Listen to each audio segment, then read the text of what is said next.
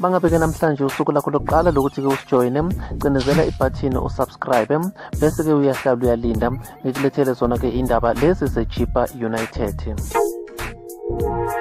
Iqembu le-chipa united elidlala kwi-absa premiership seqalile-ke eh, ukulungiselela-ke iy'nhlelo zabo eh, for isizini ka-2020 no-2021 ulukhanyo mzizi oyi-coo yaleli qembu uthi-ke sebaqalile-ke eh, ukutshela bona-ke abadlali be-chipa united ukuthi-ke makuphela yona-ke isizini lena-ke ka-2019-2020 angeke bakwazi ukuthi-ke bavale eh, noma-ke mhlambe-ke bathathe lona-ke ikhefu. Ngenxa yokuthi-ke eh, bazimisele ukuthi-ke basebenze kahle ngesizini elandelayo ka-2020 no-2021 kule sizini-ke lena ka-2019 ichipa united ibalekela yona-ke i-relegation. Kodwa-ke yena-ke u-coo ulukhanyo mzizi uthi-ke bazolwa ngakho konke okusemandleni ukuthi-ke leli qembu leli liphephe kuyona-ke i-relegation Thank you.